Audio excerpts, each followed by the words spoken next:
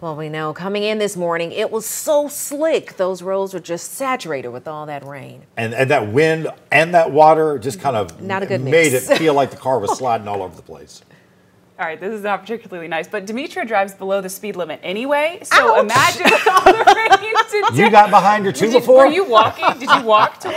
I wanted to make sure that I was going to get here safely, okay?